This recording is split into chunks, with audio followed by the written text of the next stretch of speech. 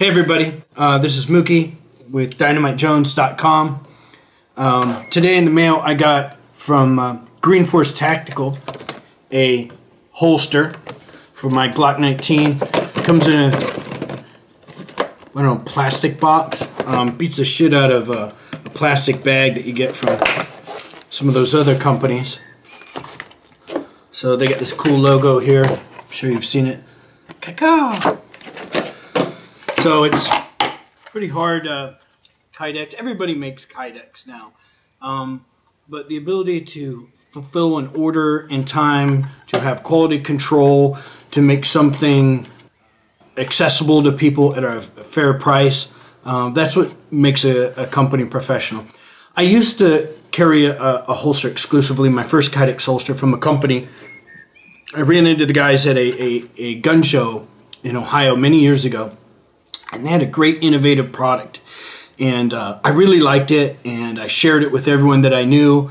And this company went on to do really big things. And uh, they made a new holster recently and they sent it to me. Um, but it came with this ridiculous uh, uh list of rules. Um, like if you don't like the holster don't tell anyone. Um, send it back to us. If you if you keep this holster basically you have to you can't say anything negative about it. It was was what I got from it. And what really chapped my ass about it was that this company had made their name, had become who they were because the internet and people talking about them and, and and myself and others being very candid about the quality of their product. And to make things worse, you know, here we are years later, like eight years, six years later, five years later, something like that. And the last holster I had of theirs broke, and it was my third one that broke. And I had heard friends complain, like uh, James Yeager, Sherman House, like, "Hey man, I know you like these guys, but their holsters actually break." But uh, it, it, after that, after I was like, "Hey, they've been doing this all these years, and their holsters still break.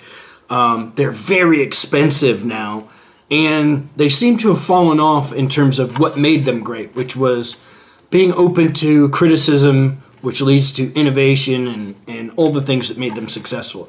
So I'm looking for a new holster manufacturer, someone hungry, um, people who, who are still passionate about their products. Um, so this is Green Force Tactical. That's their symbol. Um, this is, I asked for like a Snow Kryptek.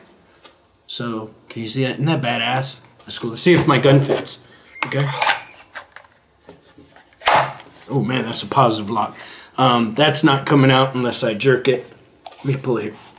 Well, that's pretty tight. I'm gonna have to work this a lot to loosen it up to the way that I like. But you know, I, I prefer it tight, new, so that uh, I can break it in. But really excited about this. Um, anyway, Green Force Tactical. We'll see how their holsters hold up and see if uh, it's to be the holster that I carry in the coming years. Again, thanks for tuning in. My website is Dynamite Jones, and my name is Mookie. Thanks, guys.